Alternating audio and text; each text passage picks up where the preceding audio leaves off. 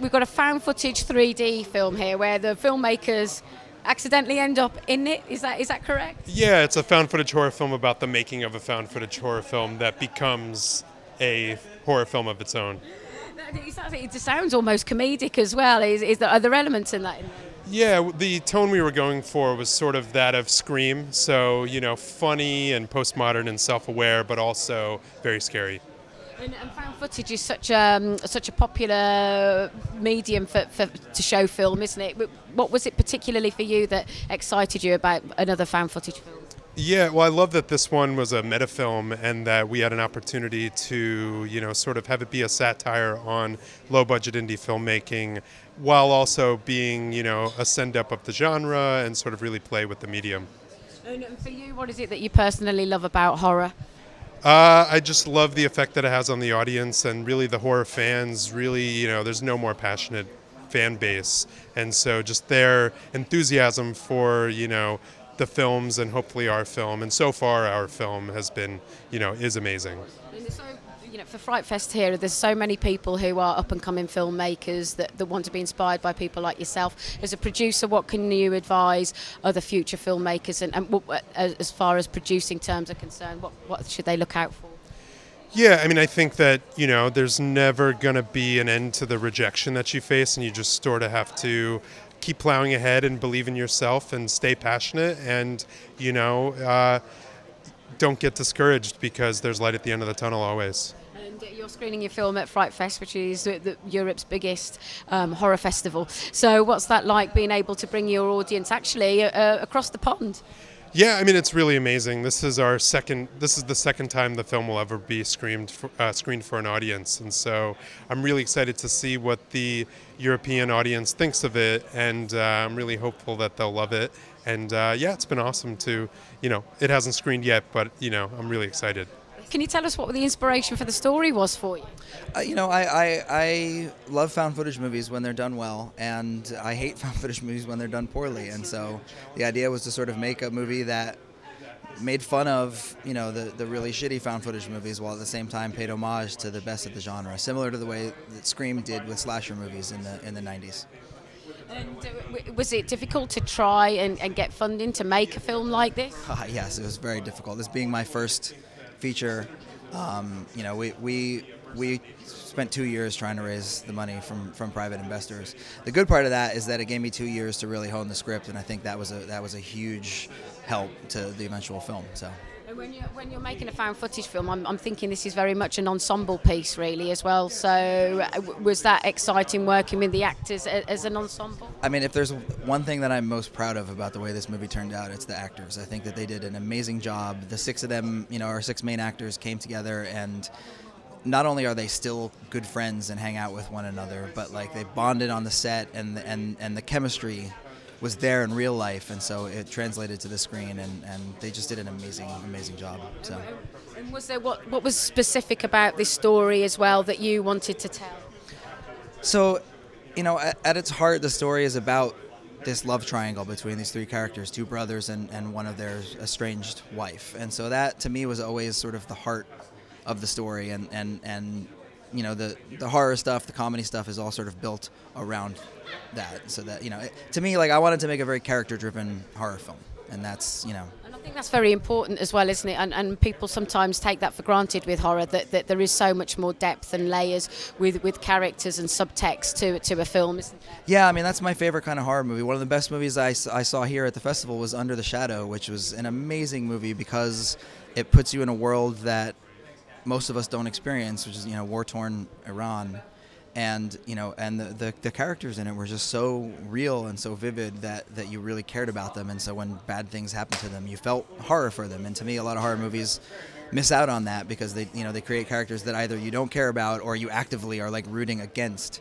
and so I think it's I think it's something that I'm, I'm very again I'm very proud of about this movie that, that our characters are strong and the actors were able to bring it. You want you if you've got characters that you invest in and the audience invest in then there's there's there's a bigger payoff when that when you lose them. Yeah, I mean there's you know there's a there's a, an old saying that like you know can't remember the can't remember the saying, but you know, basically, something bad happens to somebody else, it's comedy. If I stub my toe, it's a tragedy. That's true, actually. And you're here at Fright Fest, which is far from tragic, actually. It's exciting. Yeah, no, it's very it's very exciting. It's really great to, to be here, and the, and the, the fans are awesome, and the and the festival has been awesome to us. So it's it's we could not have asked for a better place for me to you know have the international premiere of my, my debut movie. The script. Um, what was it about it when you when you first read it? Found footage 3D. When I first first we got a breakdown which just described what it was, and I was really excited because I really don't like found footage movies. You know, I think that every problem that we kind of make fun of and solve in this movie is my big issues. So I think anybody who hates found footage movies and anybody who loves found footage movies will absolutely love this movie. Because I, I mean, for me, it was like, oh, I get to make fun of this thing that drives me crazy. Um, and I love Scream, the movie Scream. So it's kind of got that same vibe. When I, I talked to uh, Steven over Skype, I was actually in London at the time. And uh, we Skyped, and, and he told me about it. And I was just like, we talked for about an hour. Uh, and this was all in the audition process. And it's like I wanted to make sure that he really was going for what I was hoping he was going for. So that worked out great for me. Was because I was going to say if it's a genre uh, or a particular part of the genre that you don't like, it, did, did it take a lot of convincing for you to get involved? Oh no! I mean, look. Once once Steven told me what he wanted to do, I knew I'm I'm in for it 100. percent I mean, it's like uh, honestly, it's like a comic book movie. I would not be excited to be in a Marvel movie right now because they're kind of all the same thing over and over again now. Somebody needs to do that, which is why I love Deadpool so much, and even Guardians of the Galaxy. It's like when you see the original side being able to actually flex its muscles a little bit, its super muscles because they're superheroes you know, and it's refreshing. So to me, it's like this is the kind of thing where I, I think we get to like defibrillate the genre a little bit. That's the you know the clear, come back to life. Horror fans all, all know that. And um, I would imagine with this kind of film, did it did it uh, lend itself to improv? Oh yeah, there was there was uh, we got to do a lot of playing with uh, every scene.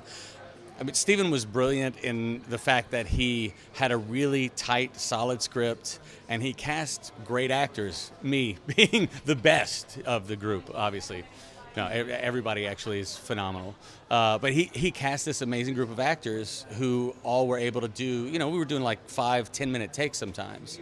And he kind of let us play. So it's like he then took us, this is the other brilliant thing he did, was he took us all out to the set for three days before we shot one lick of film and it was like we're going to basically rehearse this thing and figure stuff out so there's scenes that that absolutely did not work that we figured out in the rehearsal so when it came time to roll the camera it's like oh we know what we're doing and I imagine it was quite um, um, it was good for you guys as well to kind of get bond and build a relationship um, amongst the, the ensemble yeah, yeah. I mean, we we immediately the whole cast kind of realized that we absolutely hated each other instantly. Then we had an orgy. It wasn't a sex orgy. It was like you know just beer, drugs, uh, acid. That's when we had the light come on that said, "Oh my God, we love each other now." We listen to a lot of Janis Joplin, Woodstock stuff. You know the standard like bonding, free love. Uh, we still didn't like each other after that, but uh, he told us we had to. So we bonded at that point. Yeah. Uh, so much so the film got completed, and now you're at Fright Fest presenting it in front of an audience. Is that exciting? Absolutely. I, I my favorite my favorite audiences are, are people who dig horror movies because I think I think I think people who are really into horror movies, who really love horror movies, actually really love good movies.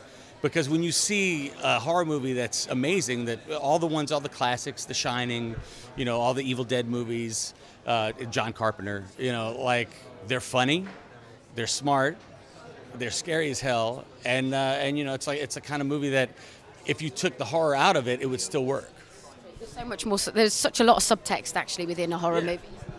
Oh, absolutely, and and I, I mean to me that's the thing. Like when you strip away the horror stuff, it's like this movie's basically about a husband and wife falling apart and the weird little love triangle kind of thing with the uh, with the brother, you know and and then all the people around. So I mean that's interesting as a comedy. That's interesting as a fantasy. Animated, I'd see it animated, like with a big like monster, you know, creature.